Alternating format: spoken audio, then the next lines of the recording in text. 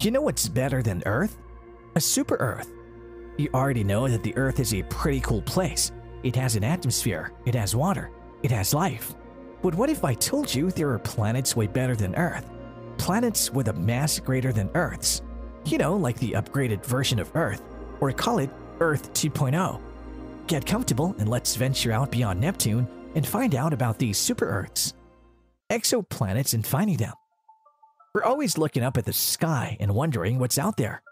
But did you know that as of March 21st, 2022, we have reached the 5,000 mark of exoplanets found? That means that other stars out there in the universe have their own respective planets orbiting around them. These planets are known as extrasolar planets, or better known as exoplanets. Think of it like another solar system floating on the vast area of the cosmos, and millions, if not trillions, of these planetary systems exist. How do they find these exoplanets? Well, they don't literally just stumble upon them. Instead, scientists use various methods to detect the presence of an exoplanet. One of these is the Kepler Space Telescope, which NASA launched in 2009. It is a powerful tool for discovering other planets and searching for planets like Earth. Zero and liftoff of the Delta II rocket with Kepler on a search for planets in some way like our own. The telescope is designed to find planets within our solar system and beyond by measuring the light given off by stars. As planets orbit around a star, they create what are called transit events. When they pass between us and their star, they block out some of its lights. By measuring these transits over time, we can determine if there might be other bodies orbiting that star, including potentially habitable ones. Planet types. When astronomers started finding exoplanets, they realized how vast and diverse the universe truly is. The universe is full of planets, and every one of them is different from our own. If you think about it, it's almost like when you're out on a field trip to an ocean park and you see these unique species. For example, purple planets. It turns out to exist. We're constantly learning about new planets and new ways that planets can occur. This makes astronomy exciting. Astronomers have classified these planets into four types gas giants, Neptunian, terrestrial, and super Earth. Gas giants are when exoplanets are the size of Saturn or Jupiter, or even much larger. Just imagine how big these gas giants exoplanets are if Jupiter could already fit all of the other seven combined planets of our solar system. In contrast to Earth, gas giant planets have whirling gases over a solid core rather than hard surfaces. The second type is the Neptunian planets. By the name of it, these are exoplanets just like the size of Neptune and Uranus. However, it is possible that some exoplanets like it can be smaller than Neptune but bigger than Earth. These exoplanets' atmospheres are more dominated by the elements of hydrogen and helium. Terrestrial planets are exoplanets the size of Earth or smaller. These planets are primarily composed of metals or silicate rocks, like the ones used to create glass and jewelry. Last but not the least is Super Earth. Generally speaking, these are known as being lighter than Neptune but more massive than Earth. An atmosphere may or may not exist between them. Earth versus Super Earth. So, what is the difference between a regular Earth and a Super Earth? The difference is in their mass. A super Earth is twice the size of the Earth and up to 10 times its mass. They're like regular Earths that have been pumped up with steroids, so it makes sense that astronomers are calling them super Earths. Besides, they only called it super Earth because of its size. Therefore, it doesn't necessarily mean that they're an exact replica of our home planet. Since super Earths are so much bigger than our own planet, they have much stronger gravity, so strong that you would weigh double there compared to your actual weight here on Earth. If you weigh 110 pounds on Earth, you would be 220 pounds on a super Earth. NASA even confirmed the existence of super Earths, which are so hot they can vaporize metal. Just imagine how hellishly hot that might be. However, the truth is, we don't really know all that much about them yet, given that they're unlike any planets in our solar system. The game of finding life. Earth is the only planet in our solar system that has life. But what if there were more? What if there were other planets that could support human life or even more complex life?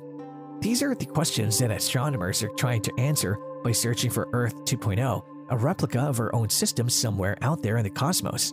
Well, lo and behold, on July 24, 2015, data from the Kepler Space Telescope have revealed the first ever Earth sized planet discovered to orbit a near solar twin called Kepler 452b. The Kepler 452b has been dubbed as Earth's closest twin, despite being 60% larger than the Earth and 10% larger than the Sun.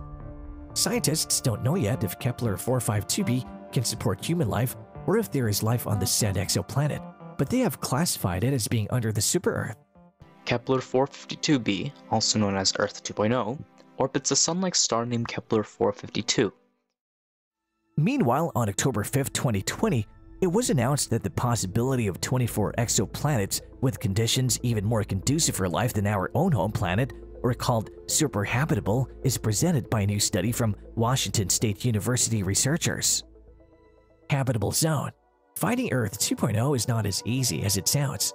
Exoplanets must meet certain criteria in order to be considered habitable. Of course, a livable planet is one that can support life for an extended period of time. As far as researchers are aware, this necessarily requires a planet with liquid water. This is important because water is an essential ingredient for life as we know it on Earth, and life begins with water. In fact, a person can only survive without water for three days, so just imagine what could happen if you're on a planet without water. Have you ever heard of the habitable zone? It's a range of distance from a star where it's warm enough for water to remain liquid on a planet's surface. This means that water is stable in its liquid form, enabling life to exist as we know it. The habitable zone is also called Goldilocks zone because it's just right, not too hot, not too cold. And if you've ever read the classic children's story, Goldilocks and the Three Bears, then you'll understand why this name stuck. For instance, planets outside of this zone may have surface temperatures that make it impossible for water to stay in a liquid state, just like Mars, or they might be so close to their star that they are completely melted, like the planet Venus. So if we want to find planets similar to Earth, we have to look for those that have orbits that fall within this zone. How do scientists figure out which stars have planets inside their habitable zones? They look at the amount of light coming from each star, and then measure how much light comes back through its atmosphere. In other words, they can now look at a planet's glow to determine if it has water. Recently, we found three new planets that fall into the habitual zone, and they're all super cool. Exoplanets LP8909b and C are two of the new additions to the list. Around 98 light years away, both planets revolve around the relatively cold red dwarf star LP8909. The radius of LP8909b is 30% larger than that of the Earth, whereas that of lp89090c is greater than 40%. Finally, Meet Ross 508b, an exoplanet orbiting another red dwarf star. It travels in and out of the habitable zone of its star during each of its 10.8 day orbits. The super Earth was discovered by Japanese astronomers in May 2022. The why? I know what you're thinking, but what does this have to do with anything? Well, this is important because we can use these super Earths to help solve or at least get an idea about the different problems we face here on Earth. Scientists also study super Earths because they can tell us a lot about how planets form and evolve over time, and knowing more about how planets form will help us understand how our own Earth formed billions of years ago and how it might change in the future. Not only that, but it also aims to answer the ultimate question of are we alone? So, what does all this information mean for us? It means that we should continue to explore space because there are other planets out there that are possibly better than Earth. We know that these planets exist, but we need to keep looking for more of them and figuring out what they're like. Whether it's a planet that orbits two suns or one that's entirely covered in water, there's still plenty of planets out there just waiting to be explored. We've only scratched the surface. There's still plenty of mysteries to be solved and questions to be answered about the universe and our place in it. The possibilities are endless. We need to keep looking out at the stars and asking questions like, what if? We can only learn so much from here on Earth. It's time for us to put on our spacesuits and start exploring. How about you? Would you like to live on a super Earth? Or is there still no place like home? Comment down below. As always, we'd love to hear more of your ideas.